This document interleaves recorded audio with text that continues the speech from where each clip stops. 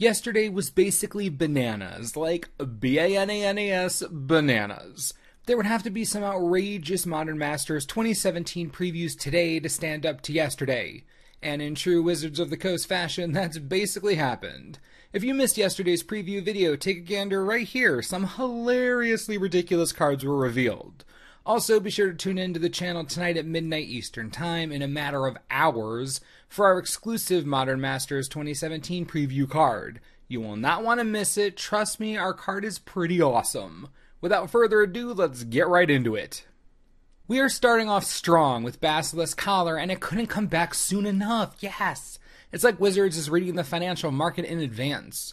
Tripling in price just last month, Basilisk Collar has settled around $18 each which is just bonkers considering the previous price trend since its rotation years ago. But with this new printing in Modern Masters, the collar will look to tank again, making it supremely affordable for Modern and Commander players alike. Rejoice in the awesome rares of the set because we're about to look at so many of them your head is gonna spin. Entreat the Angels is back as expected. After seeing Temporal Mastery and Bonfire of the Damned, this just seemed like a shoe in to be honest. Entreat has been an all star multiple times across multiple formats, garnering most of its fame from Legacy Miracles, actually. Not the most expensive card, Entreat does bring another limited powerhouse to the Mythic slot, basically guaranteeing Miracle shenanigans whenever it's drawn. I know a lot of players were hoping for Avacyn in this slot, but with what we have so far, I find very little room to complain. This is alright with me, it fits with what we've seen so far. Linvala, Keeper of Silence, is back, and the godsend hits keep coming, my goodness! Some of you may know Linvala as the $40 mythic angel from Rise of the Eldrazi that has missed every single Modern Masters up to this point. Played in Collected Company and Chord variants in Modern, this reprint is going to do wonders to her price, even if it just moves a little bit. Being a mythic rare sucks, but she was already mythic to begin with, not really losing anything there. Just take solace in the fact that another $40 card is being reprinted a $40 card that costs $170 if you want a foil version. Oh, yeah, pretty happy about this. Commander players as well, just be excited. This is very nice. Seance is back. I mean, okay, they clearly did this just to mess with that one guy who bought like a million copies of Seance. Man, he must be real mad. Like, like real mad. That's what you get when you invest in a rando Dark Ascension rare. Had it coming. Ugh. Stony Silence is back, and yet another amazing card is reprinted at the rare level. Stony Silence is one of the premier sideboard cards in the entire modern format, finding its way into all Abzan sideboards. Eldrazi, Collected Company, Control Strategies, Burn decks, it's freaking everywhere. And considering the fact that it's only ever been printed in Innistrad, kinda makes sense that it's $8 each. Well, with this new printing, with amazing artwork from Mark Poole, that is no longer going to be the case. And sure, Stony Silence isn't going to make your money back on the pack. It is going to give you a solid modern staple that will be useful for years to come, unless Affinity is banned out, which obviously isn't ever going to happen. Phantasmal Image is making its return, and I don't think anyone is upset about it. An All Star and M12 standard, Phantasmal Image is a crowd favorite clone, which is why it's been able to maintain its $8 price tag for years now. And again, not the most expensive rare, but a super useful card, great commander staple, Definitely good if you open it. This set has a way of printing a lot of rares that maybe aren't worth $10 each, but still have solid trade and inclusion value in current formats. I really enjoy where this rare suite is headed. The surprises keep coming as I am blindsided by Death's Shadow, and my goodness, this reprint could not have come at a better time. Modern players can breathe a great sigh of relief that this rare from Worldwake will no longer be, get this, $18 each. That's absurd. Death Shadow is the linchpin in its namesake aggro deck and has garnered a lot of attention over the last year. This reprint is wonderful foresight by Wizards of the Coast at the rare level. It'll help hit its value while not making it completely worthless. The rare slot gets another notch in its belt, looking real nice so far. Like, wow, what a treat. Seriously didn't expect this one at all. Extractor Demon is coming back, and I'm assuming that is solely due to limited viability, considering the rare is worth about six pennies ish. Talk about going from insanity to the bottom of the barrel. But Wizards did say that Unearth was going to be a returning mechanic, and the Extractor Demon unearths like nobody's business. Solid enough for limited. We've been doing pretty well so far, so I'll uh, I'll let this one slide. Real glad I let that slide because Mortician Beetle is back and it's been shifted from rare to common. Not something you see every day. Weirdly, the Beetle has been hovering around a dollar for almost a year now, its highest price in years. So while it made a terrible rare, it does make a pretty lucrative common, bringing its particular brand of pain to the Pauper format. Nice to know we're still getting solid Pauper playables in the set. Color me intrigued. Alright, people, it's finally happened. If you've been waiting up to this point, you can start pre ordering boxes. Liliana of the Veil has officially been confirmed for Modern Masters 2017, and the cherry on top of the stupid set has been placed. Liliana of the Veil is a criminal $95 each, and foils are around $200 each. At one of her highest prices since release, it couldn't be a better time for a reprint. We're talking Tarmogoyf level lottery ticket right here. Liliana is the chase mythic of the set, hands down. The value in this master set is just, I don't even know how to describe it at this point. Things are getting completely out of hand. Like, what is even happening anymore? My goodness.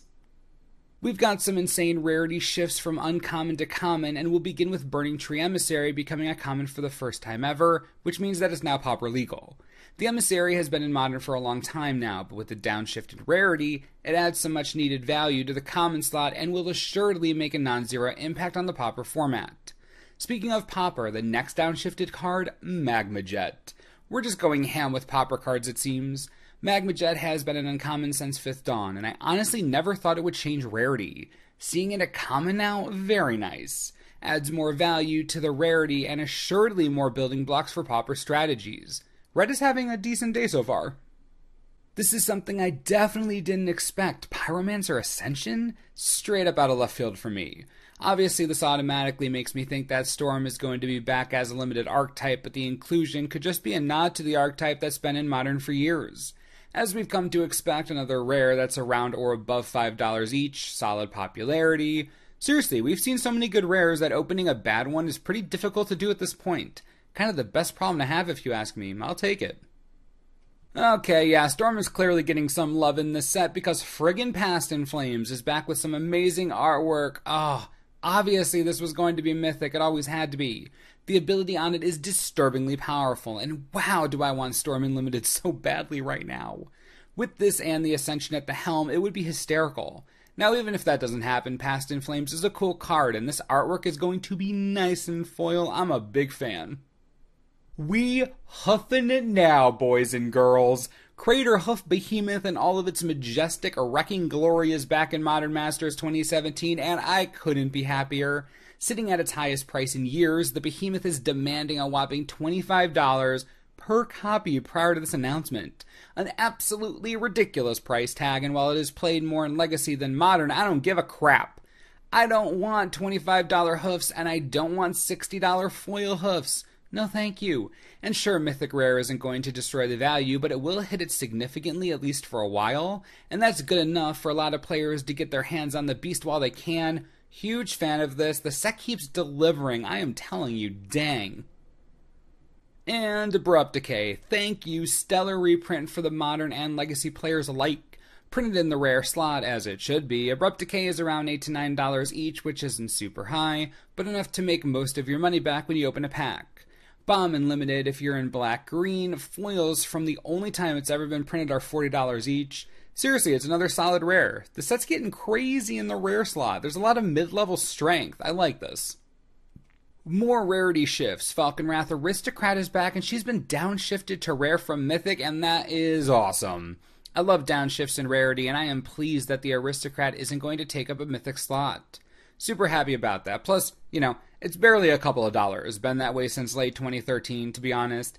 Not especially exciting, but it's a solid card nonetheless. And in another expected move, Sphinx's Revelation is leading the blue white draft archetype to victory at the Mythic Rare slot. Much like Entreat the Angels, this is definitely how we saw it going. There aren't too many standout powerhouses from Return to Ravnica block, but the Revelation is clearly one of them. And sure, it isn't a billion dollars anymore, but the card is still in modern control decks and Commander Blue White strategies, so again, I'll take it. I do enjoy these types of cards in the Mythic slot, you know, limited bombs. I guess that's going to do it for Modern Masters 2017 previews, at least for now. This set keeps blowing up day after day with more and more outrageous reprints that have been asked for seemingly for years. So, what are you all thinking? Is this finally what you want? What else could you possibly need from the set on the high end? Personally, all I'm looking for now are some more solid uncommons, and we're good to go. I'd love to hear your thoughts on this. Also, be sure to tune in later tonight for our exclusive Modern Masters 2017 preview card that will definitely further excite you for this set. Trust me, it's gonna be wild. As always, thanks for watching, and we'll see you next time. This video is brought to you in part by TCGPlayer.com. I swear, every day that goes by, the pre order price on the set goes up $10. Today, we're looking at $210 per box, pre ordered right now you have to be ready to admit that the set's bonkers. You just have to. It's full of outrageousness. If you want to get your pre-orders in while you still can, be sure to click the link on the screen. Helps the channel. You get an amazing new set. We all win. Enjoy.